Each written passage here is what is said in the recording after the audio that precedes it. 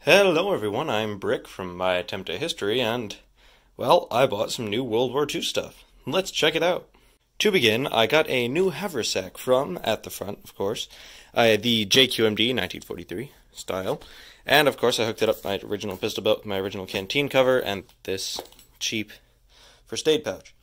Along with that, I purchased one, count 'em, one rigger pouch, made in USA. Um, I intend to get more, but this was done with a purchase uh, with some other stuff, and I just wanted to see how I liked the rigger pouches, so I only got one so far. The haversack is really nice, really great material, a lot better than the other one I had.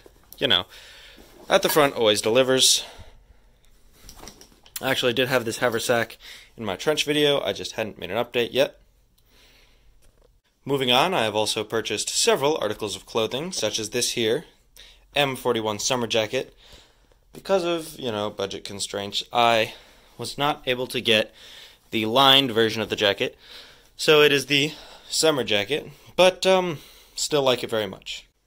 Along with that, this was uh, before I purchased the M41 summer jacket, I also acquired an Serge jacket, uh, military World War II. It had a few patches, which I took off and I now keep in the front pocket out of respect. So, yeah. And the final thing that I did was I repainted my M1 steel pot helmet. Just the uh, just the shell, the liner's the same, old cheap liner, but really good leather, surprisingly. Sorry about my finger getting in the way of the lens, I'm just dumb. So, of course, I repainted it with just, of course, spray paint, but I did add grits of sand and cork and sawdust and stuff to give it a more period appropriate look, as that's what they actually had. And now, unlike before, where it was a bright green and incredibly shiny, it is a nice olive green, olive drab, uh, World War II green, and it's not shiny at all. Still have my camouflage net on there because I like that. Alright, that'll be all for this one, folks. Thank you for watching. Like, comment, subscribe if you want.